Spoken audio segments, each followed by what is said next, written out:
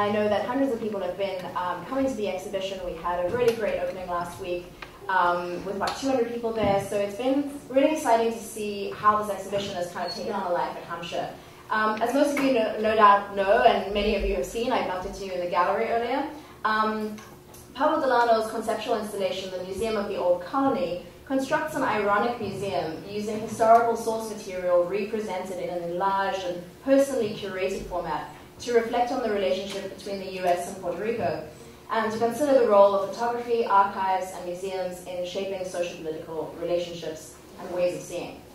I've had the opportunity to see and work with large numbers of students, staff, faculty, and community members who've engaged with this project in multiple ways and continue to do so as the semester unfolds it's clearly become a space where important conversations are catalyzed. Uh, as a curator and educator, it's also exciting to be part of a, an exhibition or a project that continues to grow and change. So what you might not know is that the Museum of the Old Colony continues to acquire new materials and to work in new spaces. So the installation and the dialogue it elicits will take shape anew um, over time. Tonight, Pablo Delano will speak about the origin and evolution of the installation and give us some insights into new directions the museum is currently pursuing. A brief bio about Pablo. Uh, Pablo Delano was born and raised in San Juan, um, Puerto Rico. He earned a BFA in painting from Temple University and an MFA in painting from Yale. Solo exhibitions of his work have been held in museums and galleries across the Americas, the Caribbean, and in Europe. He's the author of three books of photography, Faces of America, in Trinidad, and the forthcoming Hard Hartford Scene, coming out um, next year, I think, with Wesleyan University Press. Um, so Delano teaches studio art and photography at Trinity College, Hartford, where he also serves as co-director of the Center for Caribbean Studies.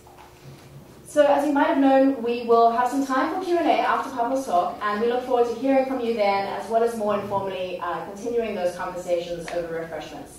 And as I always say, please keep an eye on the gallery website and Facebook page for more information as we have a lot of upcoming programs um, around uh, environmental injustice, um, things like decoding visual images through poetry. So there's really a rich range of programs associated with this exhibition that we encourage you to come to. So please do keep an eye on that. But most importantly, welcome Pablo. Thank you so much for being here and sharing with us tonight. Thank you, Amy. Buenas tardes. Gracias.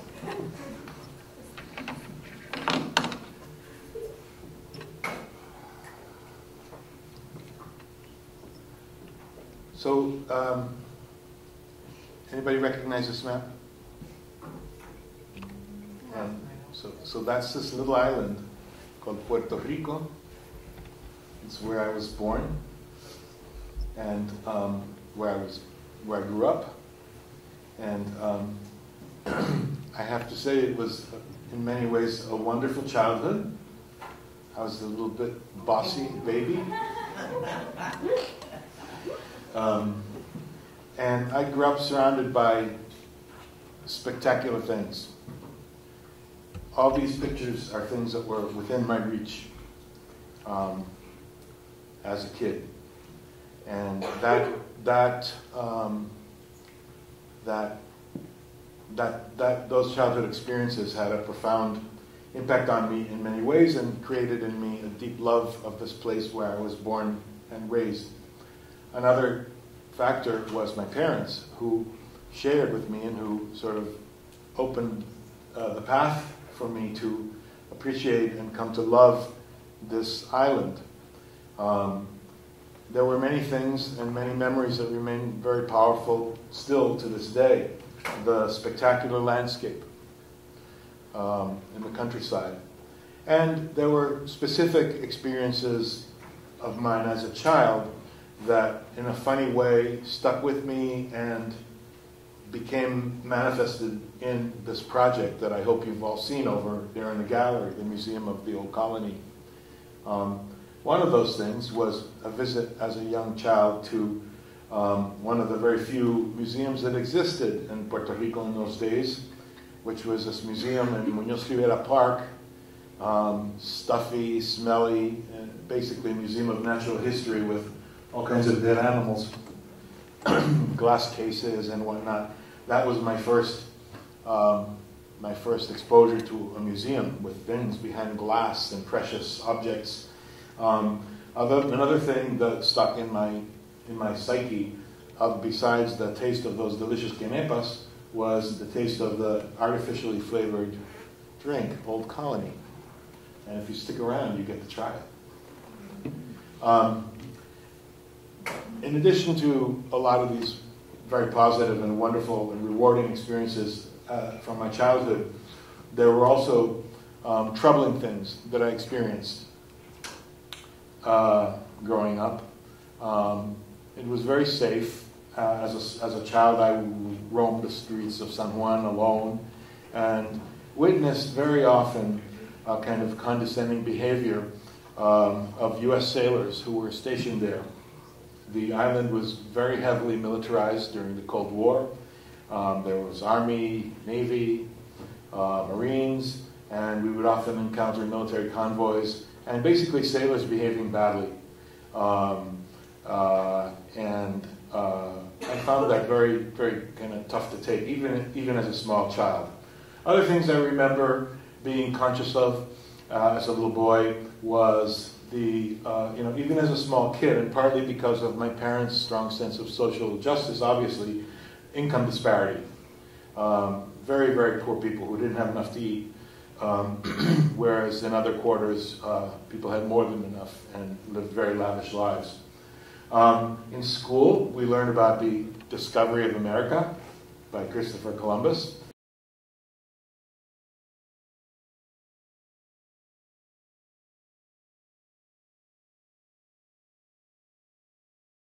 With the statue of Columbus still there. Um, and we learned about the American um, arrival, which sometimes is called an invasion. If you look at the photograph on the left, which is a photograph that was just acquired in the last few days by the Museum of the Old Colony, you can see uh, San Jose Church in Old San Juan, and you can see the bombardment, uh, the damage caused by falling bombs as a result of the arrival of North Americans.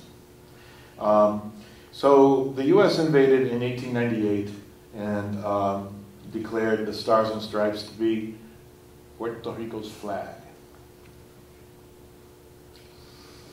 I decided to study art in the U.S. and I went off to the U.S. and took the degrees that Amy mentioned uh, and moved to New York City to be an artist. Uh, but those that childhood experience was sort of stuck deep inside me, and um, I felt very attached and very connected to the island. Um, uh, and um, I, I uh, got involved in various projects that kept me connected. For example, I did uh, I worked with the art historian Teodoro Vidal to illustrate some of his books on Puerto Rican folk art and find like this is a book on uh, ex votos, which are small uh, metal uh, objects that are used as, as, a way of giving thanks to any particular saint that you've prayed to. Find them all through churches in the island and throughout Latin America.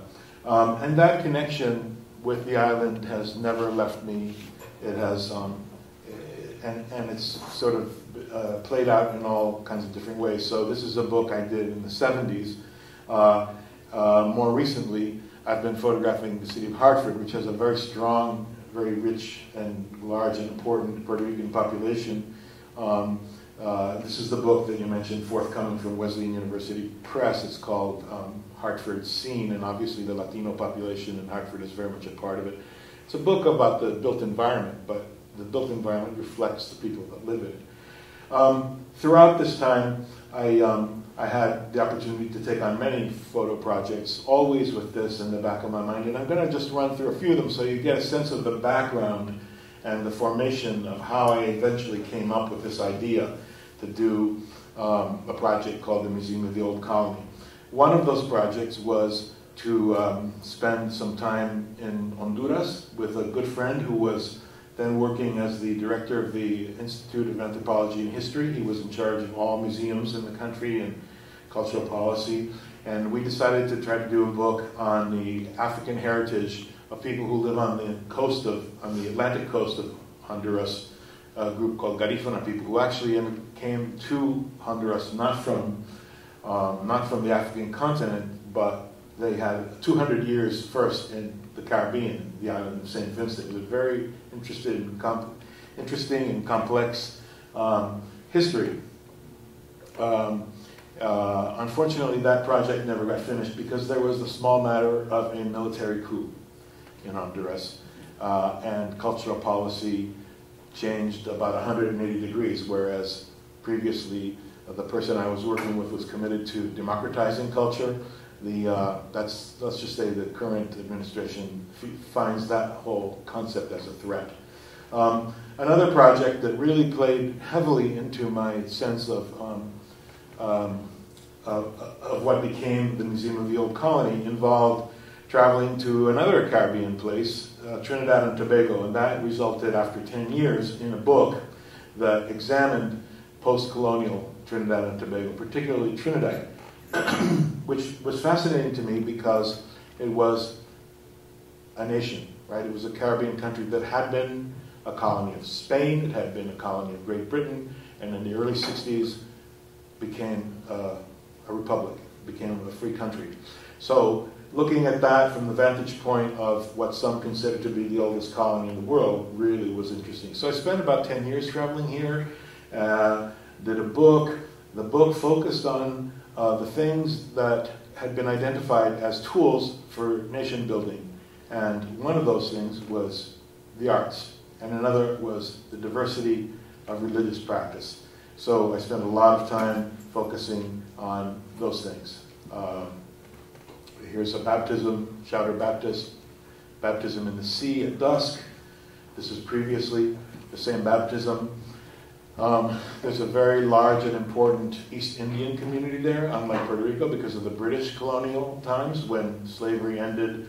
Um, Indian uh, indentured workers came, and so Indian culture is very much alive and the national holiday, the great national holiday celebration of Carnival, in which the largest masquerade uh, is called Sailor Mas, Sailor Masquerade. Um, and so that really struck a chord with me because of the pictures that you saw earlier, that, that whole experience of American sailors in the streets of San Juan as a child. Here are people um, um, appropriating that kind of power, that kind of dress, um, and making a, a, spoof of it. Um, uh, Trinidad, unlike uh, many Caribbean islands, chose to uh, reject tourism largely, um, making the connection with tourism and European exploitation, uh, the idea that these people came in ships and took the best things away. Um, meanwhile, uh, as I grew up, as I grew older, uh, through my teenage years and whatnot, uh, Puerto Rico became uh, highly industrialized as a way to create a middle class, right? So almost every U.S. pharmaceutical company opened a factory there. Um, uh, they did that because of tax incentives. Um, but unfortunately, um, uh, that had some positive effects in that, in that um, employ, a lot of jobs were created, um, um, public health improved, uh, literacy rate improved a lot, um, and there really, there really was a foundation of a kind of middle class. Um, uh, the problem is that when those tax incentives went away in the late 90s and early part of this century, uh, there was a collapse, an economic collapse. And this is a photo uh, in the town of Piedras, where you can see basically it was a pedestrian mall, shopping mall, almost everything is shut. And this is repeated in almost every town on the island now. Ironically, um, one thing that was supposed to attract tourists was this giant sculpture of Christopher Columbus uh, that was uh, made by a Russian sculptor and was rejected by the city of Columbus, Ohio, and many other cities, and ended up, unfortunately, uh, Hurricane Maria did not take this away. Um, I don't understand how. Because look how big it is, and look at all that surface, right? Uh, in any case, um, all of this leads us to um, a kind of critical question in, in, terms of um, looking at where things have gone. Uh, this is actually a bumper sticker of the statehood party. It means uh, where would we be without her? In other words, questioning where would Puerto Rico be without the U.S. And, um, you know, that's kind of a pertinent question, I think, especially now, um, when you consider um, uh, some of the um, recent developments. Um, for example, after the two hurricanes, Irma and Maria, um, uh, President Trump arrived on the island, and his response was to throw paper towels at people and say that this wasn't a real disaster, et cetera, et cetera. But those kinds of responses are not new. Uh, look at the quote from uh, Theodore Roosevelt in 1906, uh, which is reproduced up. I won't read it aloud if you don't mind. Um, it's, it's, it's ugly, you know. Um, but um, but uh, we see this kind of uh, motif being repeated over and over again, and you see it in the installation in the exhibit if you've been to it. Um, another thing I became conscious of, you know, as I um, began my life in mainland United States and whatnot, was the history of um, othering or um, um, uh, marginalizing people that were different.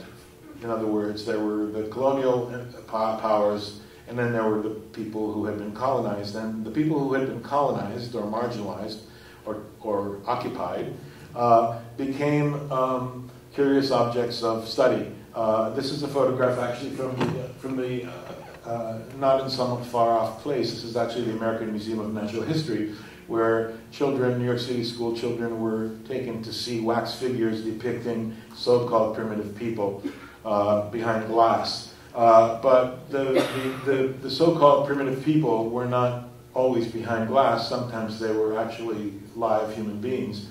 The Museum of Natural History also displayed people, um, Inuit people that they brought, um, and uh, uh, the Bronx Zoo displayed this man here, um, whose name was Ota Benga, um, in a cage. and uh, and uh, there were actually zoos with human beings in them. Um, this is a picture that I that I uh, I find sort of hard to look at because I was four years old when this picture was taken. Right, so I was alive during this was 1958. I was born in 1954, and so I mean I'm almost the age of that child. Um, uh, um, so so you know, becoming aware of these things also um, uh, reminded me that I had seen similar kinds of things uh, a little bit here and there um, uh, in history books that depicted um, the place where I was born, in Puerto Rico. Um, uh, in particular, there was one large volume called Our Islands and Their People that um, my parents actually had. And um, uh, what you see on the left is a, a photographer, one of the photographers that the U.S.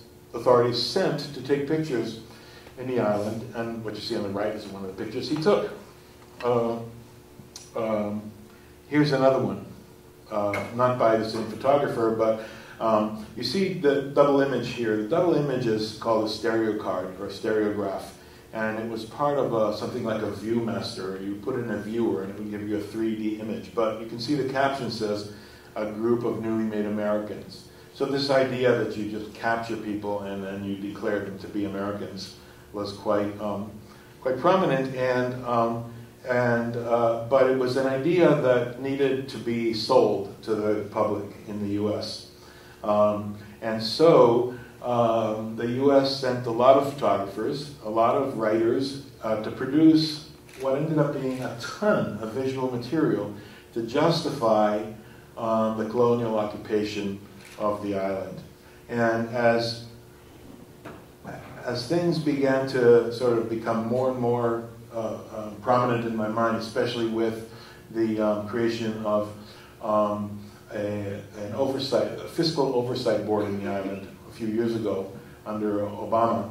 Uh, this was a fiscal oversight board that was appointed to basically rule the island in the, in the face of um, a huge debt, which um, sometimes referred to as an onerous debt because it was created under situations of exploitation and imperialism. Nevertheless, um, uh, Obama appointed this fiscal oversight board, which gave people appointed in Washington more power than any elected official on the island. So, um, as a visual artist, how I felt I wanted to respond somehow, and that's the origin of the project. That's how uh, I began to think about what could I do? How could I deal with this? How could I make a presentation? How could I incorporate this into my art and feel that I'm working as a visual artist and expressing myself, but also bringing these, these concerns to the forefront? So um, I began to think about these images that I had created in Trinidad and how in Trinidad there's this notion of, um,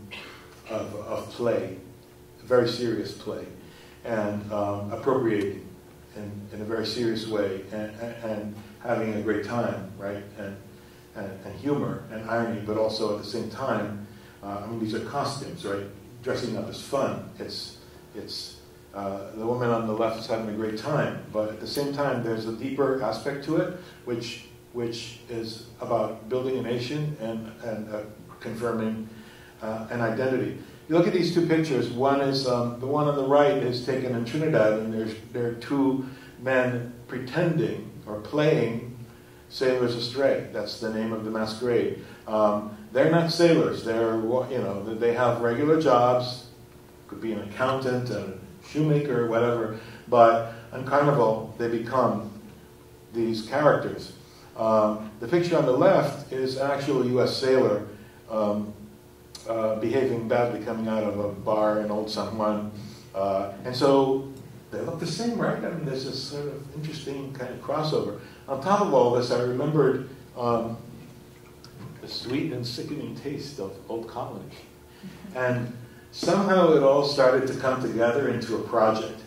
Uh, and uh, it occurred to me to make a museum, like those racist museums that I had visited, uh, but a museum that would sort of shed light on the vision that colonial, that, that imperial America had and tried to sell to the folks back home, right?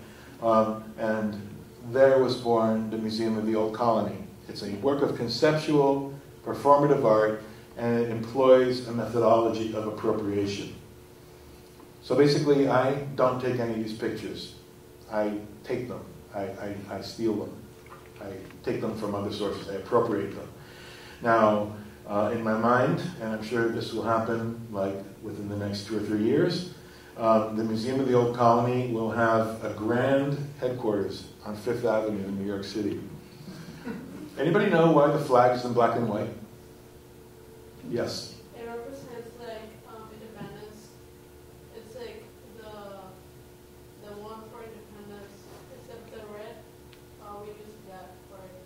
Yes, it's, well, it's a, it's a way, it's a form of protest, and it's an acknowledgement of the uh, oppression uh, of, um, of anything that's valuable to us, right? So it's a, it's a form of protest.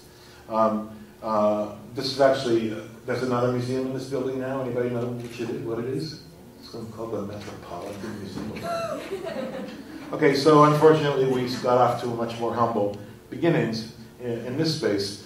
Um, this is actually a place called Alice Yard in Trinidad and Tobago, and this was actually the first version of the Museum of the Old Colony. Uh, uh, and it's grown and morphed and uh, and uh, changed in many ways since then. The first, um, this first little exhibit was um, divided into three sections, three walls. One of them was um, called Natives Bearing Burdens because for some reason uh, uh, many of these colonialist photographers like to show people carrying things on their heads. Um, I was able to also incorporate video. You can see in the gallery there's also a video piece. There are many video pieces. We just couldn't fit everything into the gallery. Um, there was a good deal of interest in the in the uh, in the installation. So it traveled, it began to travel. One of the places was to the 7th Argentine Biennial Documentary Photography in Tucumán, Argentina, where it was in a really nice museum, a very nice installation there. Um, it's very interesting as the exhibit goes to different places, how different people respond. Um, in Argentina, for example, people are not very aware of Puerto Rico or where it is or whatnot, that some people know it's part of the U.S. or it's under the U.S. flag. Um, but Argentines are very familiar with military occupation. So, for example, in that venue, I used a few images that that would remind Argentines of that. This is another, uh, another shot from, from Argentina. Um, then I was invited to do the installation at the King Juan Carlos I of Spain Center in New York University, um, which was an incredible, they have an atrium space and hallways and spaces and classrooms, and I basically took over the whole, the whole space. Um, uh, you can see a few of the installation shots here. Um, uh, the, uh, the, the installation changes. One of the things you can see in this picture, for example, is this long introductory paragraph. When we brought it to Hampshire, uh, we felt it would be more effective to break that long paragraph up into smaller text pieces, which you see around the gallery. I'm sure you've seen it. Um, but nevertheless, each venue is unique, and I respond to it. I try to respond to, to the particular context. For example, this is the King Juan Carlos I of Spain. It's no secret that Spain was the first European power that colonized the island, and so um, uh, there's the portrait of King Juan Carlos I, and uh, he's in a room surrounded by images that I, fortunately, I don't have the right picture, but um, that evoke the Spanish heritage. But you can see the arrow pointing right at him. Okay, then the next venue was the Museum of Contemporary Art in San Juan which was fantastic to actually do it at home. Uh, and the responses were really, really fascinating. Um, uh, people, um, people were quite struck and moved by it. And I've spoken to several friends of mine who were professors and they took their classes to see it. And the, the one reaction that seems to be uh, the, the, consistent across uh, everyone who, all the groups who have gone see indignation uh, when they say salieron indignados. In other words, they it just made their blood boil. And to me, that's successful. That's that's good. That shows that they that the that the people are really looking at this and understanding what it is, right? Which is the view from the outside, not the view that we've created of ourselves, but the view as we were seen by the colonizing powers. Um, a lot of people going through there. Thousands of people saw it there. They also have an educational program. Um, so it was very rewarding to do the installation. And you can see how different the installation is, right? It's a different conception because the space is different. Um, uh, so uh, in order to in order to um, make this more this whole project more museum-like and more more playful, like you might like, what's wrong with me, right? You might be thinking, you know, how can this be playful? It's sick, right? Yes, uh, but at the same time. Um, what are the strategies that Caribbean people, enslaved people have used for centuries to, to cope, right? Think of Trinidad and think of the limbo dance. The limbo dance, we think of it as something that children do at a party, right? They, you do the limbo dance, you know, a little, like a baby, like a birthday party. Actually, the limbo dance is far more meaningful than that. The limbo is a, is a symbol for the middle passage. Like you can get down and bend over backwards, but they won't break you, right? You come out the other side and you're triumphant. So play is really important, I think, in all our lives. And so, so although the subject matter of this project is very deep and sometimes sickening and very difficult to work with, I mean, I, I sometimes um, find myself in tears. Uh, and I can't, like, I gotta go home. I can't do any more in my studio.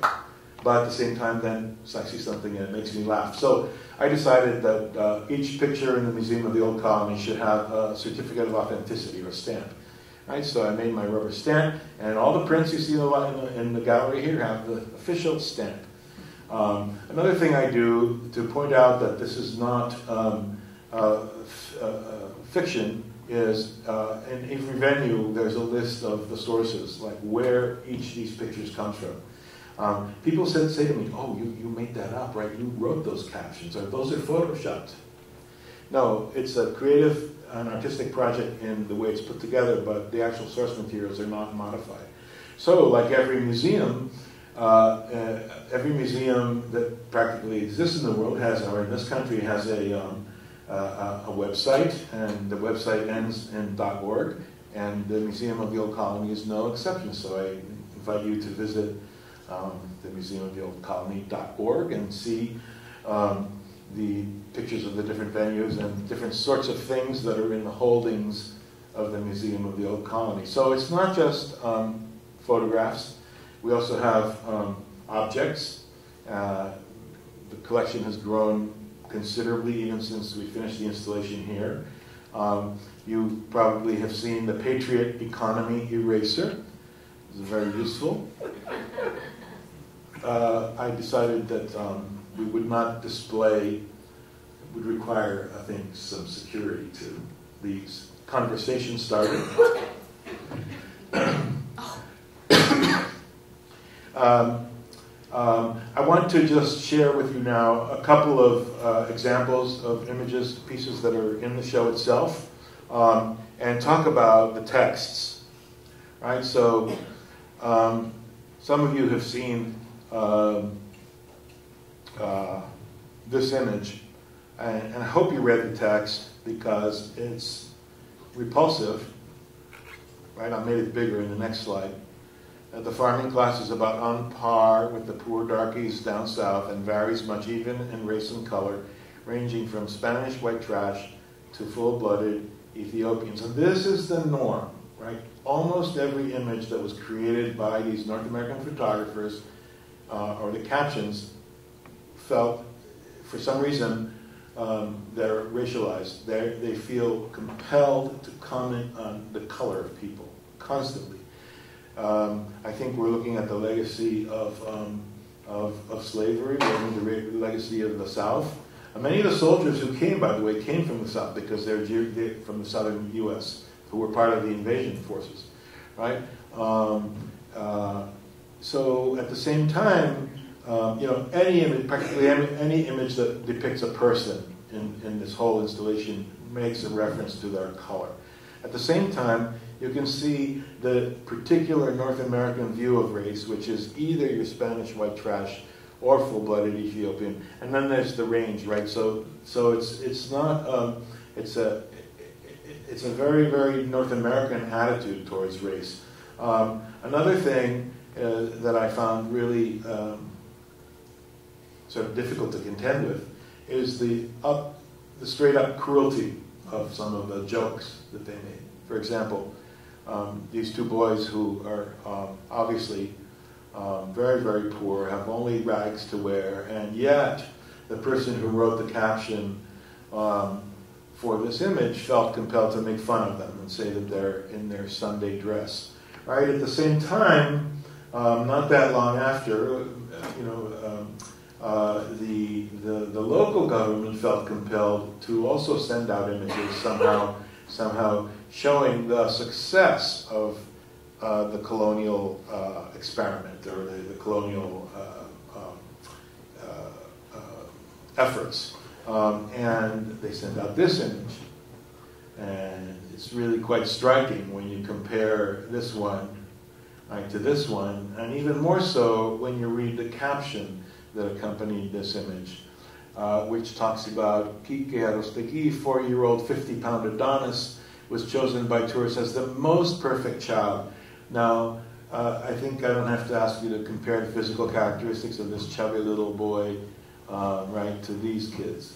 Um, uh, he was chosen by tourists at the Caribe Hilton Hotel as the most perfect child, and he's wearing the latest. In other words, this hand-woven jibaro hat, the pava, has been exoticized and made something, made into a costume. It's quite horrific. Um, so um, then there's the drink, bizarre, probably brought by U.S. military in the 40s by the soldiers who wanted it on the basis. We don't really know how it. I don't really know the history, and I've tried to look up the history. It needs more research. Um, um, uh, one of the things I find compelling is the way that this drink has been sold as something that's ours, as though we embrace. It's a metaphor, right? But it's as though we embrace this whole idea of the colony. And I have for you a video of the commercial that was made to sell Old Colony um, in the island, and you can see that the, the video attempts to paint it as ours, as though the colony is us. We are the colony. It, the video um, highlights um, aspects of our culture and associates it with the idea of this drink.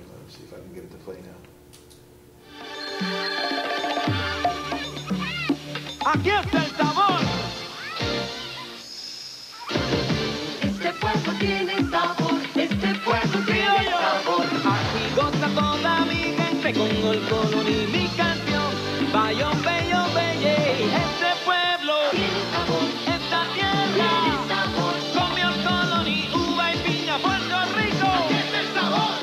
So it's just one of those bizarre twists of irony that this soda somehow became identified with with the island, right? And, and to this day, I mean, I bought this um, I bought this today, and this is um, you notice the labels in Spanish. Uh, it's now being sold here, but until recently, you could only get it here under this brand name because of something having to do with uh, copyright infringement. But India was the brewery that bought the license to make it uh, in, on the island. All right. Um, the last time I spoke to a group from Hampshire was June 2nd, and um, uh, it was when the exhibit had just started. And we had just learned that, according to Harvard, um, 4,645 people died in Hurricane Maria and Hurricane Irma. Um, there was a um, response by a group of artists um, uh, that called for people to bring pairs of shoes of people that they had lost, their family members that they had lost, to the Capitol building.